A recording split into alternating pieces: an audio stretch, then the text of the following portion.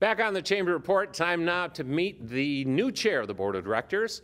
He has been a player on the Board of Directors for a while, but he has taken the big chair for the 21 22 Chamber year. His name is Chris Randall. He is with First Bank Elk River. Chris, welcome to the show. Thank you, Pete. Nice to be here. Uh, so, these folks don't know who you are, so let's talk first about First Bank Elk River. Give us a little bit of history of the bank and what you do there. Well, First Bank Elk River is a family-owned community bank. It's been uh, uh, originated in uh, Elk River um, about 110 years ago. Um, it's owned by the Holton family. Um, John Holton is still the uh, president of the holding company. Um, I've been with the bank for uh, about eight and a half years, um, and I'm officed out of the Anoka location as a commercial lender, um, and uh, enjoy working with the bank and enjoy being part of the community banking scene here in Anoka County and broader area as well. And how, how is the commercial lending scene? I mean, COVID is on everybody's mind. We just can't get rid of talking about it. How, how has it been through that whole time, and what do you think looks like heading to the future? Well, you know, 15 months ago, there was a, a, lot of uncertainty as to what was going to be going on with businesses, and, and business owners certainly faced a lot of challenges. Um, our bank, along with many of the other banks in the community, uh, participated in the Paycheck Protection Program, or the PPP loans as they're referred to. Um, so that certainly kept us busy. Um, and kind of coming out of that, we are seeing a high demand uh, in commercial real estate in particular. Um, real, uh, interest rates are very low right now. Um, so we've been very proud that we were able to help out a number of businesses. Uh, we originated, I believe, over 120 PPP loans at First Bank Elk River, um, and I'm sure that uh, you know that doesn't make us particularly unique, um, but that was uh, certainly an opportunity for us to get out, help our customers, uh, help the community. Um, and now we're looking to kind of get back to lending uh, in more traditional manners, obviously. Yeah. And uh, some of that demand has been um, more uh, you know popular than others. For instance, the commercial lending and uh, commercial real estate, as I stated, has been very very busy. Um, equipment lending has not been maybe as uh, as uh, as in demand, uh, particularly because businesses are kind of flush with cash right now.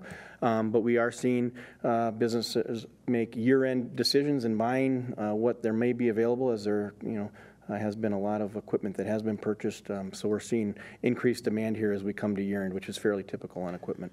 You know, and, and for me, and, and I wonder if you're hearing the same things that I am. I mean, I'm hearing about a positivity going into 22. I think overall the business climate in the area is is fairly uh, strong. Uh, businesses certainly have done very well. I think far better than they expected to be yeah. doing for the most part. Um, you know, I think interest rates right now are, are kind of the, the, the linchpin of the economy or the, the you know where things are going to move up or down. Um, but right now we do see a good, a favorable environment for interest rates. Uh, certainly inflation is uh, playing a role, um, and that's uh, probably some guarded optimism, but I, I, think home builder sentiment seems to be fairly strong still. Um, maybe a slight pause here in the late summer and early fall, um, but we do see some of that activity kind of picking up as well as we move into the new year. So I would say things are uh, encouraging, um, but I think people are also being pragmatic with their decisions at this point. Yeah, and you have to be. I, I, I totally get that. Chris, if somebody out there watching is like, you know what, I want to I want to talk to this guy. I got some uh, potential lending questions, how, how, would they get a hold of you? I can be found at the First Bank Elk River uh, in Anoka. Um, you certainly reach out to us there. Uh, our website has all our phone numbers on it, and that would be uh, or email, um, and I can be reached via you know phone or email as well. So. Um, at uh, my phone number 763-712-7860 um, that's my uh, desk number there or uh, email crandall at elkriver.bank great so, Family Guy? Yes. Very busy time of the year for us. I bet it is. Um, we, we seem to move uh, from one season to another kind of relative to sports. So uh, the different seasons kind of correspond to sports. So I'm spending uh, less of my time outdoors. I'm a pretty avid hunter, uh, bird hunter in the fall. Um, that's kind of transitioning now to being on the slopes uh, with my son, who's a downhill skier, um, and my uh, his twin sister, who's a basketball player, and then also getting around to soccer. We do a lot of indoor soccer training in the off season as well. So and, and Chris, I've done this with other chairs. If you don't mention your wife's name and your kid's name, you're going to be in trouble. So let's just get that out of the way first show. Sure. Well, my beautiful wife, uh, she's uh, Michelle Randall. Um, she's actually been very busy. She is a, a photographer, um, and uh, I'm happy to have her back now. The fall is a very busy time for her as a, as a photographer, um, doing uh, people's pictures for their Christmas cards. So I'm glad that she's uh, wrapped that up now, so she can kind of uh, relax and have some time, a little bit of a slowdown. Um, and then my three children I have a 15 year old daughter who's a sophomore at St. Francis Senior High School, Ava, and then we've got two 13 year olds, uh, Nolan and Addison, uh, who are uh, seventh graders at the middle school in St. Francis and are excited for winter and the, the oncoming snow. You're a busy guy.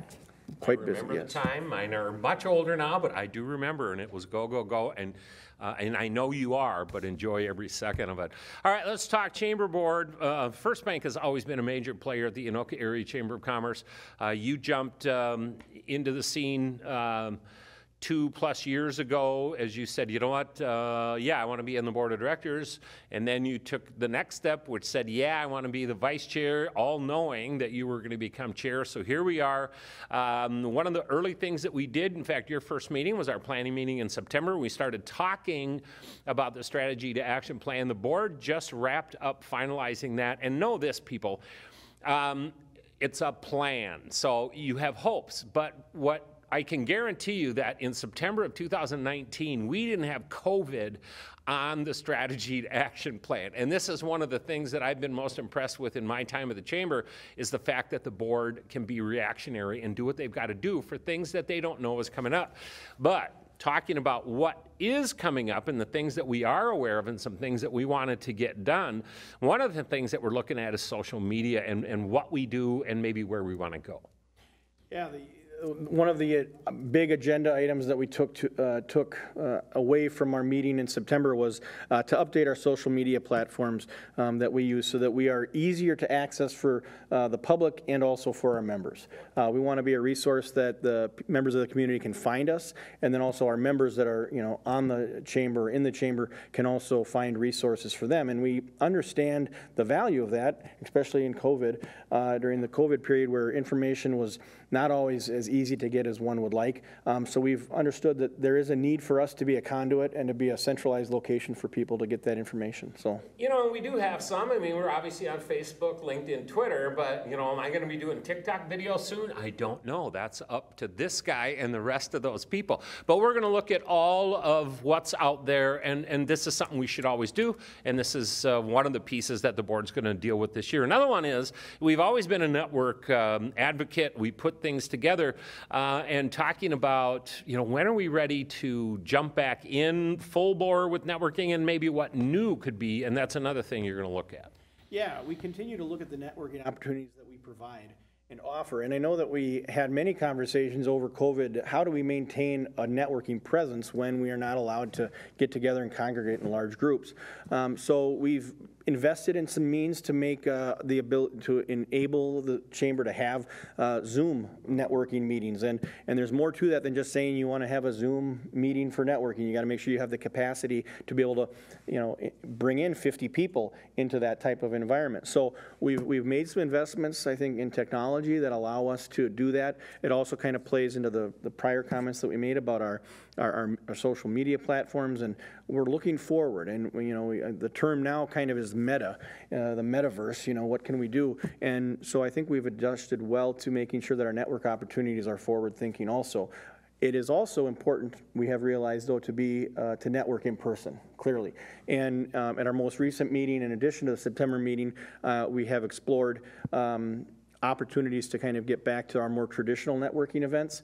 Um, and we're very excited about that because they offer uh, people, one, an opportunity to get together face to face, but it allows us to support other area businesses and members of the chamber as well. When we have a networking event, we do it at a, at a local watering hole or restaurant. So there's a, a, a, a benefit to, to not only the people that are networking, but also to our members as they get to experience that You as bet. well. What Chris is talking about is our mixed networking event, which has been on pause since uh, COVID hit.